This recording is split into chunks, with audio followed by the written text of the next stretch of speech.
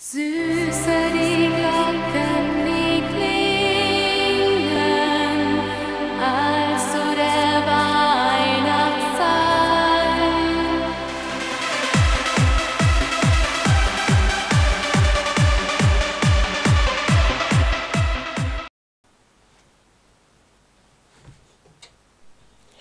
Herzlich willkommen am ersten Advent bei Ihrem Remscheider Fernsehen Tele DMW. Da wollen wir auch direkt die erste Kerze mal anmachen. In Gold heute. Hier ist die Wocheninfo mit den Breaking News aus Remscheid und anderen Städten. Die gehen diesmal bis zum 27. November 2022. Im Studio hat vor Ihnen Platz genommen Ihr Herr Westkamp, Fröhliche Weihnacht überall, tönet durch die Lüfte froher Schall. Weihnachtston, Weihnachtsbaum, Weihnachtsduft in jedem Raum. Fröhliche Weihnacht überall. Ich wünsche einen friedlichen ersten Advent. In der ersten Meldung geht es um eine alte Dame, die wahrscheinlich nicht geguckt hat, ob ein Auto kommt. Und die Konsequenzen sind ja immer furchtbar. Am Mittwoch, dem 24. November 22, kam es um 17.55 Uhr an der Einmündung Bliedinghauser Straße zur Ziegelstraße zu einem Verkehrsunfall zwischen einem Ford und einer Fußgängerin. Ein 58-jähriger Remscheider befuhr mit äh, seinem Ford Fiesta die Bliedinghauser Straße in Richtung Burgerstraße. Als der Fiesta-Fahrer auf die Ziegelstraße einbog, kam es nach bisherigen Erkenntnissen zu einer Kollision mit einer 88-jährigen Fußgängerin, welche die Ziegelstraße überquerte. Durch den Zusammenprall stürzte die Frau zu Boden. Sie erlitt schwere Verletzungen und wurde zur stationären Behandlung in ein Krankenhaus gebracht. Dazu kam der Rettungswagen vorbei. Wahrscheinlich hatte die Frau nicht geschaut, ob ein Auto kommt und ist einfach losmarschiert, wie es oft bei älteren Menschen vorkommt. An dem Ford Fiesta entstand kein Sachschaden allerdings. Jingle bells, jingle bells, jingle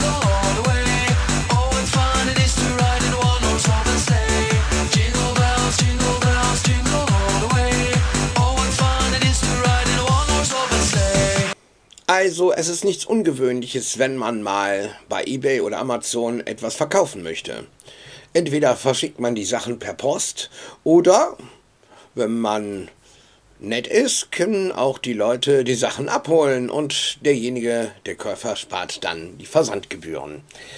Äh, In diesem Fall ist es aber nicht glimpflich ausgegangen, denn ein Handyverkauf endete als versuchten Raub. Am Freitag, dem 25.11.22, kam es gegen 18.10 Uhr in der Halske Straße zu einem versuchten Raub.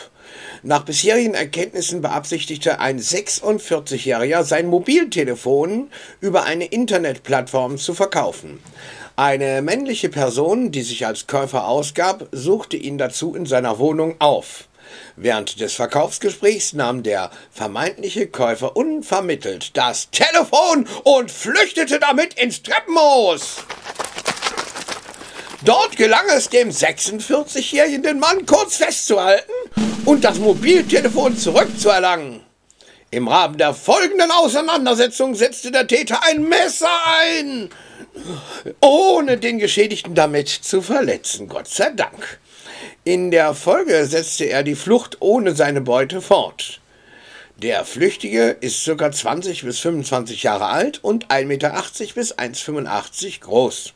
Er, er hat eine schlanke Figur und trug bei Tatausführung dunkle Kleidung. Eine Attraktion ist es nicht gerade, aber ein ganz interessanter Unterstellort für Fahrräder, die gerne mal an Bahnhöfen geklaut werden. Das soll jetzt nicht mehr möglich sein. Ein sicheres Konzept, denn der Bahnhof Lennep hat jetzt, jetzt Radboxen.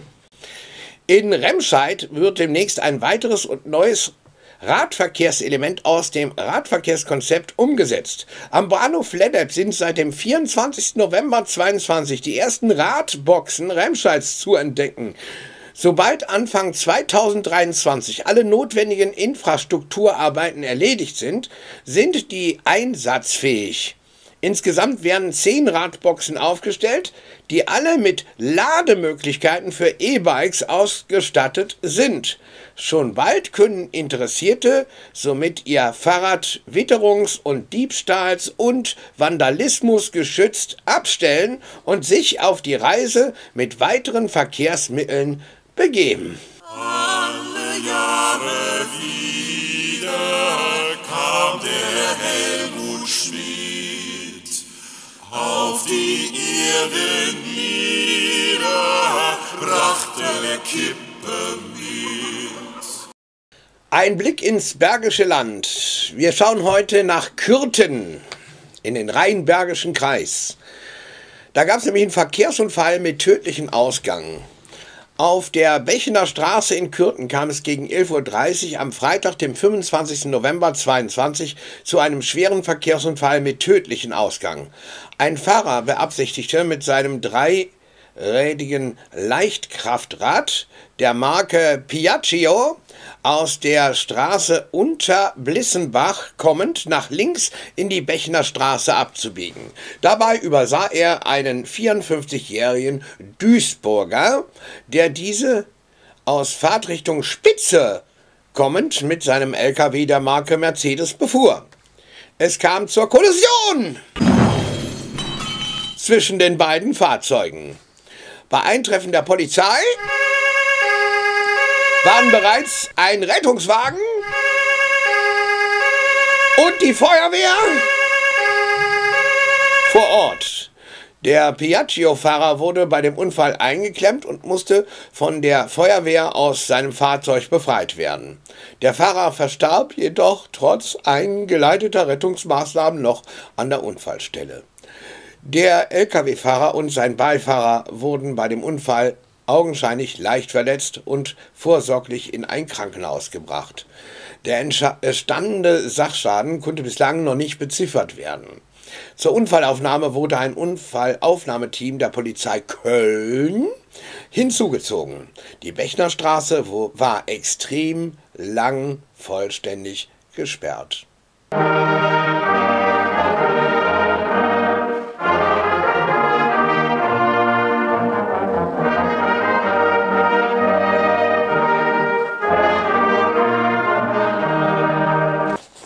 Ja, meine Damen und Herren, wir lieben Deutschland.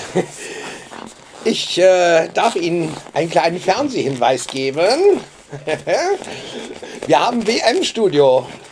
Paar Mal kommt das noch. Elfmal im Ganzen auf Tele DMW. Und da gibt es die aktuellen WM-Ergebnisse. Und immer um 23 Uhr erscheint die Sendung. Das ist doch der Hammer, ne? Aber ich will Ihnen kurz ein paar Infos geben, die Sie in den letzten Sendungen erfahren konnten. Zum Fußball, zur WM. Der Ball rollte für Deutschland. Das Vorrundenspiel. Das erste ist nämlich daneben gegangen, in die Hose gegangen. 1 zu 2 gegen Japan. Das war nicht gut. Und äh, heute Abend spielen wir ja gegen Spanien. Das wird auch noch ein gefährliches Spiel. Tut mir leid, ich kann voraussehen. Ich sag mal zum Zeit der, äh, das kommt erst heute Abend das Spiel, aber ich äh, vermute mal unentschieden. Und Sie werden wohl sehen, dass ich recht habe. Entweder 0-0, 1-1, irgendwie so wird das stehen. Äh, unentschieden. Und damit haben wir nicht mehr viele Chancen. Tja, es gab auch ein paar Skandale. Ganz kurz gesagt, das Ding mit der Armbinde. Uhuhu. Dann halten die sich alle den Mund zu beim Gruppenfoto. Iran äh, weigert sich, die Nationalhymne zu singen aus Protest. Und der FIFA-Boss, Präsident, ähm, schockt die Katarer. Ähm, ja, mit der Aussage, ich bin, ich fühle homosexuell. Ja, hm, was er hinterher wieder zurückgenommen hat. Na, also da ist schon was los da hinten. Und wir bleiben für Sie am Ball. Schauen Sie auf unsere Homepage auf teledmw.de WM Studio rein. Sie sehen da auch die Sendezeiten, wann wir Ihnen die neuesten Ergebnisse präsentieren. Viel Spaß bei unseren Sendungen. Wehrpflicht hat sie ausgesetzt, AKWs nahm sie vom Netz. Nun die nächste Sensation. Frauenquote, Mindestlohn, Homo-Ehe, Inklusion. Sagt mal, was sagt ihr dazu? Die Linke heißt jetzt CDU. 0179 31314444 0179 31314444 Der Raderbeulerwagen stand zwei Wochen lang auf der Freiheitsstraße, jetzt ist er weg und wir fragen uns, wo er ist. Wenn Sie den gesehen haben, melden Sie es unserer Telefonhotline. Wir werden es allen bekannt geben auf der Homepage. Wir haben noch eine Vollsperrung, eine dreitägige Vollsperrung auf der Menninghauser Straße ist angesagt. Weil ein Fertighaus angeliefert wird, wird die Menninghauser Straße zwischen der Hausnummer 68 und 70 von Donnerstag, dem 1. Dezember, bis einschließlich Samstag, dem 3. Dezember 2022 von 6 bis 19 Uhr vollgesperrt. Eine Durchfahrt zwischen Rhein, der Reinhard-Mannesmann-Straße und Menninghauser Straße ist dann nicht möglich. Für den Fußverkehr bleibt der Gehweg frei. Ortskundige werden gebeten, den Bereich zu umfahren. Eine Umleitung wird eingerichtet. Außerdem noch eine Warnung. Solinger Straße, Kreuzung Losenbüchler Straße, Hammerstraße. Dort ist eine Baustellenampel, die macht alle verrückt.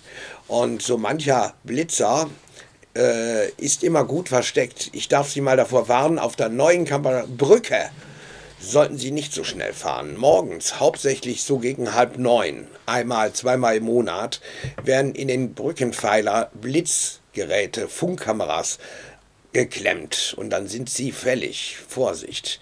Und es gibt noch mehr Stellen in Remscheid, wo Sie fällig sind. Bitte schauen Sie jetzt. Die Stadt Remscheid hat tief in die Tasche gegriffen. Auf der neuen Kapperstraße steht jetzt eine Litfaßsäule mit Lasertechnik. In Fahrtrichtung Lennep kann nicht mehr gerast werden. Hier ist Tempo 50, genauso wie in der anderen Richtung. Die Säule steht schwarz an der Seite und wird nicht so schnell nachts gesehen. Aber in der anderen Richtung kann sie auch blitzen. Ja, das kann sie.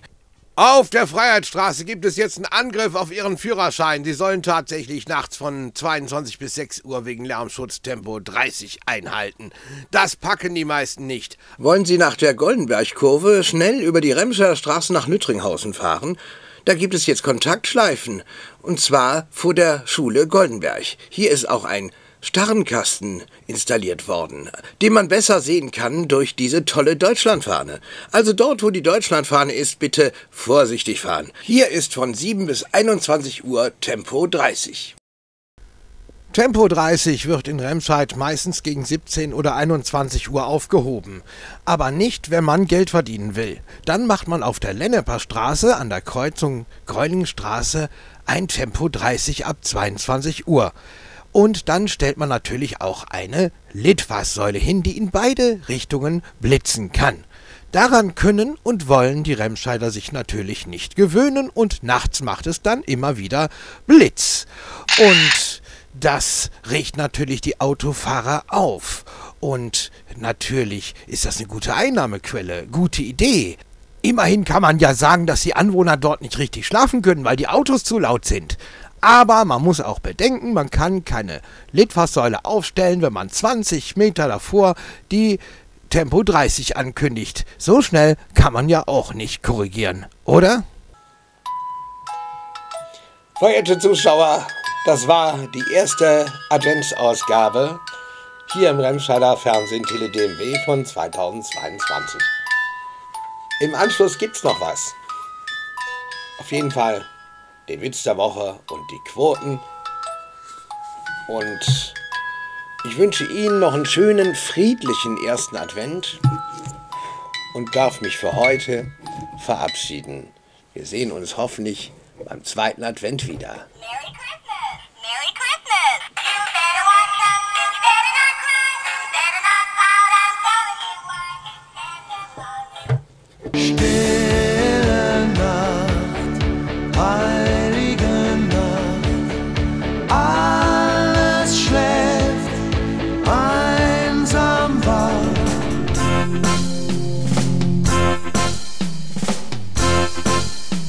Hier ist das Remscheider Fernsehen, Tele DMW.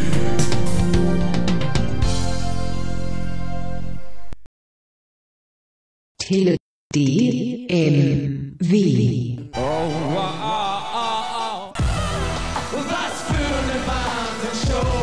Remscheider Fernsehen.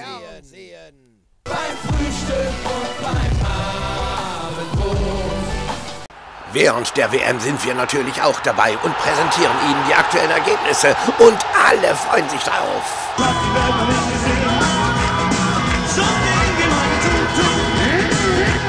Elfmal meldet sich das WM-Studio. Die Sendezeiten finden Sie bei uns auf der Homepage auf teledmw.de und dann auf den Button WM-Studio klicken.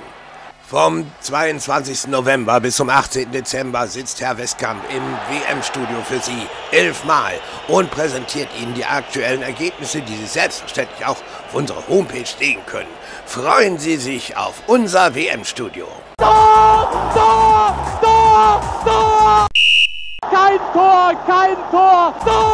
Tele DMW. Geil! Geil! Hey Leute, hier ist euer Benedikt. Ich hab eingestellt. Ich hab abonniert, falls mir gefällt. Ich hab eingestellt. Ich hab abonniert, falls mir gefällt. Und heute gibt's um was ganz Besonderes. Es geht um Tele DMW. Dirk Michael Westkamp. Guter Mann. Mag ich. Abonniert. Tele DMW. Einfach genial, dass es dich gibt.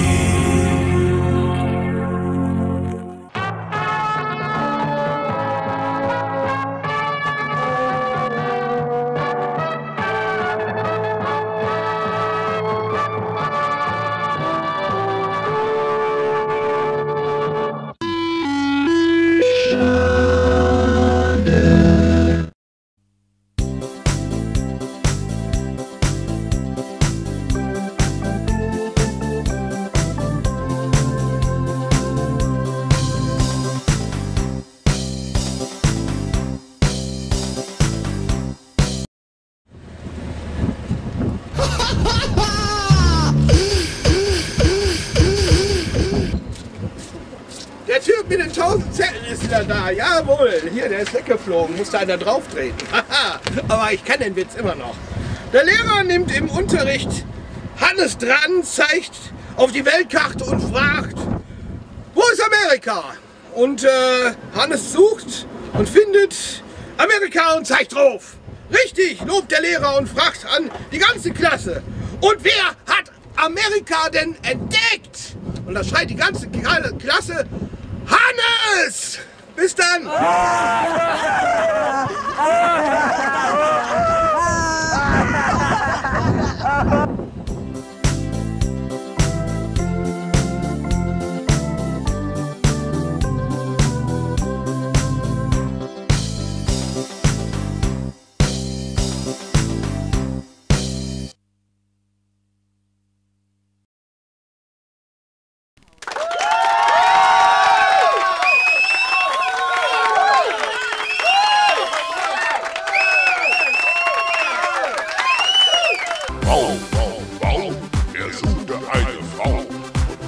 es nicht kann, macht ihn es nicht mehr an.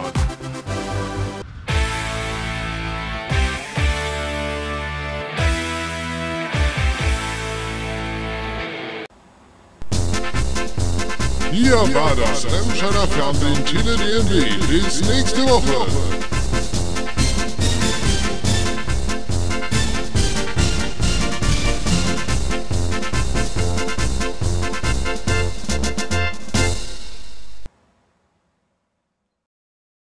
DMW aus Remscheid. DDMW aus Remscheid. DDMMMMMWWWW. 0179 31314444